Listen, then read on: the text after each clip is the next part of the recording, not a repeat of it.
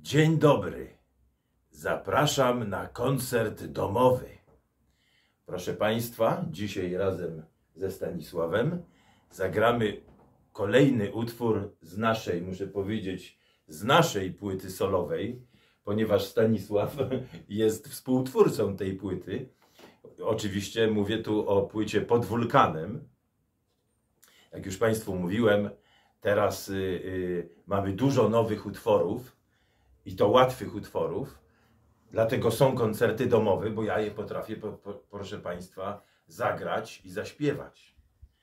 Proszę Państwa, y, y, utwór, który dzisiaj zagramy, nazywa się Pusty Przedział. Z czym się kojarzy pusty przedział? Pusty przedział to jest, proszę Państwa, oczywiście przedział w pociągu. Nie wiem, czy Państwo znacie to wspaniałe uczucie, kiedy stoimy na peronie. Jest, y, bo ja mówię cały czas o nocnym pociągu. Y, Jest to pusty przedział w nocnym pociągu. Nie wiem, czy Państwo znacie to uczucie, kiedy stoimy na peronie, jest godzina 23.30, Warszawa, y, Warszawa Wschodnia, nadjeżdża pociąg, który nas zawiezie na wschód i wchodzimy do pociągu, a tam jest, okazuje, pusty przedział. I wchodzimy do tego pustego przedziału i no, yy, to jest właśnie to niesamowite uczucie, bo dla mnie to ja tutaj yy, nikogo nie ma, tylko i będę ja sam w czasie tej podróży, dwie godziny, proszę Państwa, można jechać i yy, jak to się mówi, można się yy, na tej kanapie w przedziale, można się położyć. Można się położyć i można sobie spokojnie spać. Proszę Państwa, tak jak, y, y, ponieważ ja uwielbiam y, podróż pociągiem, tak jak zwyczajna podróż pociągiem za dnia jest już dla mnie czymś czarodziejskim, to podróż pociągiem w nocy jest czymś czarodziejskim do trzeciej potęgi w ogóle. No bo właśnie, a jeszcze w pustym przedziale, to jak, jak w jakimś domu w ogóle. Tak można jechać, jechać na ten wschód, tak jechać w nieskończoność w ogóle, ponieważ dlatego, że można się położyć i można sobie spać. A ten sen pociągowy jest taki, taki przyjemny, bo przynajmniej nie wiem jak Państwo, ale mnie ten stukot kół, to, to tuch, to tak, to tak, ten stukot pociągu tak hipnotyzuje po prostu i ja od razu dobrze zasypiam. N- W ogóle nie wiem, czy mi się coś śni, y, jak jadę pociągiem. Nie pamiętam, ale w każdym bądź razie to jest y, cudowne uczucie. y, Tak zasypiać y, w pustym przedziale i słychać, y, usypia mnie ta, ta pociągowa muzyka, ten stukot, y, monotonny stukot kół. Proszę Państwa, i, no i tam jeszcze są inne atrakcje w nocnym pociągu. No bo z kolei jak y, prze- przedział nie jest pusty, to też się śpi, ale śpi się oparty o szybę. I nie wiem, czy Państwo, y, jak y, jedziecie czasem w pociągu albo autobusem, to czasem sobie przysypiacie tak, będąc opartym o szybę. I ta szyba tak, człowiek tak, tak zasypia, ale tak ta szyba, bo ta szyba ciągle drży. I tak się zasypia w takim, jakby takim drżeniu z kolei, na tej drżącej szybie. Ja dzisiaj o tym, proszę Państwa, śpiewam, że najlepszy sen jest na tej drżącej, nocnej, pociągowej szybie. No ale jeszcze za tą szybą, proszę Państwa, jest jeszcze nocny, y, nocny pejzaż. I to są niesamowite pejzaże, bo tak naprawdę to nic nie widać wtedy, w nocy, w pociągu, bo ja powiem dlaczego. Y, Ponieważ zawsze gdzieś tam, chociażby nie wiem jak się zasłoniło te y, takimi firankami, y, zasłonkami ten nasz przedział, to zawsze światło świeci się w tym, na korytarzu, w wagonie, prawda? I zawsze dochodzi światło. Jak, y, jak y, człowiek na tej drżącej szybie tak, y, tak jest oparty i zaraz mu się chce spać, to, to, to co on widzi? Co ja widzę wtedy? Proszę Państwa, ja widzę swoje odbicie. Moje odbicie na tej drżącej szybie. I ja pan, jak byłem młodzieńcem, to bardzo często jeździłem właśnie szczególnie do Warszawy pociągiem i wracałem w nocy i właśnie cały czas widziałem tą swoją twarz. I, i, I proszę Państwa, przyzwyczaiłem się do tej mojej takiej twarzy, która była taka młoda. y, I proszę Państwa, proszę sobie wyobrazić, że w pewnym momencie przestałem jeździć pociągami, ponieważ moja żona y, y, powiedziała, żebyśmy ko- koniecznie kupili samochód. I kupiliśmy samochód, i oczywiście jazda samochodem ma swoje zalety, to jest jasne. Na przykład, jak się jeździ samochodem, to są, to można robić, proszę Państwa, trzy bardzo dobre rzeczy. Można na przykład, ja powiem te, o tych zaletach samochodu teraz. Nie wiem, być może już mówiłem, ale powtórzę. W samochodzie przede wszystkim można sobie słuchać głośno muzyki. Tak jak w domu y, czasem nie można podgłośnić, bo, bo sąsiedzi, bo coś tam. Na przykład y, moja żona nie lubi, jak puszczam na przykład jak, jakiegoś rocka progresywnego, ponieważ denerwują ją te, te klawisze. Tam oni grają takie solówki. Bardzo często i moją żonę, y, Natalię, to bardzo denerwuje. Ona jest w ogóle wrogiem y, rocka progresywnego. A ja, proszę Państwa, lubię czasem sobie posłuchać takich zespołów jak na przykład Genesis, Jethro Tull albo Rush, albo chociaż w zespole Rush nie ma tego ale na przykład y, Emerson, Lake and Palmer, tam to już jest w ogóle przez cały czas. No ale proszę Państwa, wtedy sobie mogę spokojnie posłuchać. I to jest jedna rzecz, którą można, y, zaleta jazdy samochodem. Druga to jest, że można się w spokoju i na głos modlić. Ja to robię bardzo, bardzo często. Y, Jak jadę w dalekie podróże, często się modlę w samochodzie. Po prostu tak na głos, nikt mnie nie słyszy i mogę sobie rozmawiać z Bogiem. To jest bardzo dobre, proszę Państwa. I trzecia rzecz, chyba najważniejsza, można płakać. Można płakać, bo nikt nie widzi. I ja często płaczę, jak jeżdżę y, samochodem gdzieś daleko, bo y, jestem wrażliwy i najczęściej do płaczu mnie różne piosenki y, no, doprowadzają. Na przykład bardzo często jest taka piosenka zespołu Breakout Rzeka Dzieciństwa. Jak ją puszczam, to mam tutaj po prostu gulę jakąś i jak jestem w domu przy innych, to wstydzę się.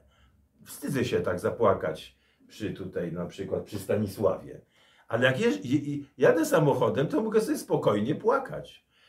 Albo na przykład są takie piosenki, niektóra jest taka jedna piosenka Ewy Demarczyk, yy, którą mam na swoich samochodowych podróżnych składankach. No i wtedy można sobie spokojnie płakać. Proszę Państwa, to jest bardzo dobra rzecz. Tak sobie spokojnie się, tak sobie wypłakać się. Mówi się, że mężczyźni nie płaczą. Oczywiście, że płaczą. Tylko wtedy, tylko proszę Państwa, jak jadą sami samochodem. Bo tak to się wstydzą i nie płaczą. Ale jak sami w samochodzie gdzieś jadą, to na pewno, to na pewno płaczą.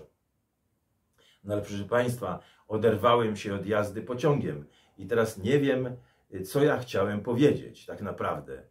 Y, y, Ale chcę powiedzieć to, o, już wiem. Chodziło o to, że w pewnym momencie przestałem jeździć pociągiem i zacząłem jeździć samochodem i zapomniałem tego swojego odbicia w szybie, w nocnej szybie pociągu. Bo jak Państwu mówiłem, w nocnej szybie nie widać za bardzo, co się dzieje za szybą, bo jest ciemność, a, a, a, szyba także odbija te światła z korytarza i widać odbicie twarzy. I ja, jak już przestałem jeździć pociągami, czego bardzo żałuję, zapomniałem tego swojego odbicia w szybie. Ale proszę Państwa, to nie jest tak, że całkiem przestałem jeździć. Od czasu do czasu się przejadę pociągiem. Na przykład lubię sobie poje- pojechać tak samemu, na przykład tak y, bez żadnego celu. Kupić sobie bilet i na przykład pojechać sobie z Poznania do Torunia. Do Torunia i z powrotem. Bardzo mi się to podoba. Jest to dosyć blisko, jedzie się z półtorej godziny w sam raz.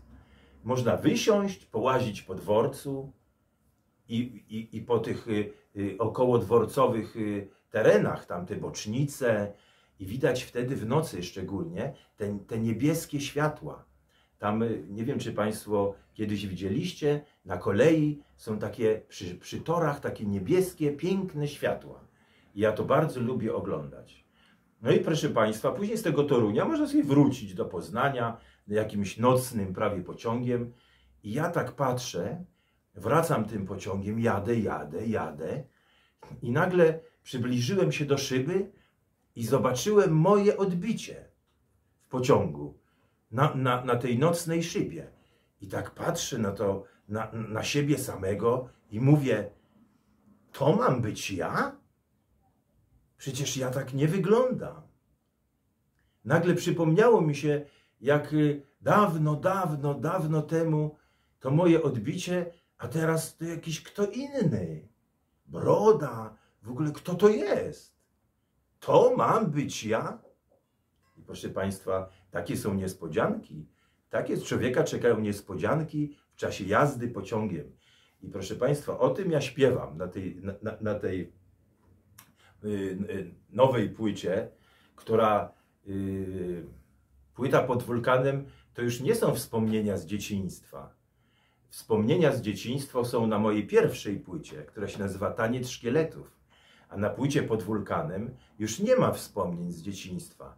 To jest to, to jest płyta o tym, jak człowiek w moim wieku wsiadł do pociągu i nagle zobaczył swoje odbicie na tej nocnej szybie i pomyślał, to jestem ja? No właśnie. Ja chcę też także powiedzieć, że yy, teraz te nowoczesne pociągi, to muszę powiedzieć, proszę Państwa, nie podobają mi się za bardzo. Ja wolałem te stare pociągi, te stare wagony. Ja tu mówię o wagonach, nie? Bo lokomotywa, no to to już wiadomo, to już jest, y, och, dawno minęło. Ale te nowoczesne wagony nie podobają mi się. A proszę Państwa, wiecie dlaczego? Dlatego, że tam nie można otworzyć okna. Wchodzisz do tego pociągu, to jest ta klimatyzacja, jak to się mówi, włączona. No dobrze, no oczywiście teraz są upały i czasem ta klimatyzacja się przydaje, ale dlaczego ktoś zabronił mi otworzyć okno? Kiedyś, proszę Państwa, było można, nie wiem czy Państwo pamiętacie, w tych starych wagonach wejść do przedziału, czy też stojąc na, na, y, na, na, korytarzu, pociągu wziąć i tak za tą y, taką rączkę i tak zrobić ciach i otwierało się okno i aż dotąd było otwarte okno. Można było tak się wychylać, patrzeć w tą stronę, w tą, jak pociąg jedzie, albo przyglądać się na stacji, jak pociąg stanął, że tu y, na przykład jak ta stacja wygląda, a teraz czuję się jakbym był w więzieniu. Nie ma nic, nie mogę nic otworzyć, wszystko, wszystko zamknięte. To jest Szczerze mówiąc, jest to dla mnie straszne. I chciałbym, proszę Państwa, mam tu apel do kolei teraz, żeby chociaż w tym nowoczesnym pociągu był chociaż jeden wagon przeznaczony dla pasażerów takich jak ja. Takich już, y, którzy chcieliby sobie w czasie podróży otworzyć okno, żeby można było popatrzeć na świat. Albo na przykład ten wiatr taki letni wtedy tak wieje. Jest to, to jest bardzo przyjemne a teraz tego nie ma. Ja jeszcze chcę, y, proszę Państwa, powiedzieć, że y, y, ten utwór zaczyna się słowami wzdłuż przedramienia humory dziewczyn. I ktoś tego może nie zrozumieć, o co chodzi. Proszę Państwa, to jest prawdziwa, opisana prawdziwa sytuacja z moją córką Niną. Jak Nina miała, to się działo, tak ja wiem, z 15 lat temu. Moja córka Nina miała, mogła mieć wtedy, nie wiem, 8 lat, yy, 9. Ja zawsze, proszę Państwa, po obiedzie, obiad jest dla mnie bardzo ważny, i po obiedzie ja lubię sobie taką drzemkę uciąć na, na kanapie. I położyłem się na kanapie i tak sobie leżę, już drzemka przychodzi i tak to jest to, to przedramię, proszę Państwa, tu. To jest wzdłuż przedramienia, tutaj. I tak mam tak rękę, tak tutaj, tak mi ręka tak opuszczona i nagle czuję, że ktoś mi coś tutaj rysuje. I ja tak przez przymknięte oczy mówię tak, Nina, to ty? A Nina mówi, tato, tato, nie ruszaj się, nie ruszaj się. A ja mówię, dobrze, ale, ale co się dzieje? A ona mówi tak, tato, to jest, znajdujesz się w studiu tatuażu renesansowego. A ja mówię, dobra. I ona tak rysuje, rysuje. Ja, ja tak się zdrzemnąłem chyba przez ten czas. A ona mi ciągle tu rysuje, coś rysuje, takie, czuję takie przyjemne drapanie trochę.